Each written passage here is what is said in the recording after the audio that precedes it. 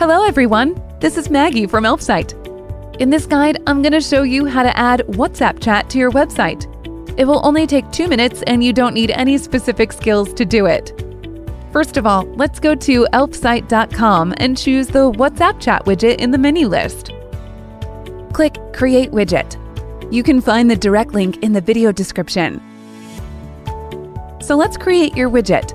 Begin by choosing a template that suits your case best. Click Continue with this template. To let your customers message you from the widget, enter your phone number to this field. Make the widget friendly. Add your name and picture in the chat header section. That's it! Your widget is ready! Also, you can check other settings to adjust layout, size, colors, and fonts. Click Join to install to add the widget to your website. Log in or sign up to Elfsight apps. This is free, no credit card required. After you sign up, you'll see the widget that you have just created. Click Save. The next step is to choose your subscription plan. You're very welcome to start with Lite, but keep in mind that your 20% discount is valid only for 24 hours. Click on the code to copy it and go to your website's admin panel. After logging into your Drupal admin panel, go to the Structure tab click Block Layout. Choose any footer section, for example, Footer First, and click Place Block. Press Add Custom Block.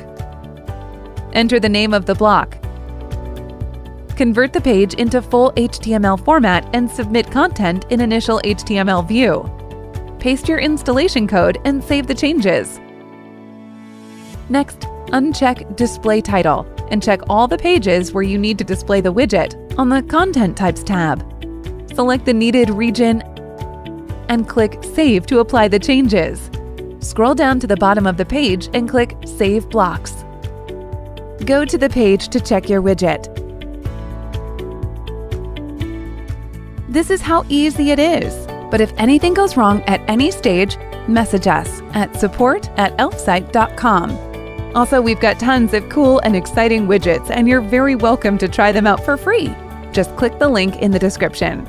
Thank you for watching this video. Enjoy your day!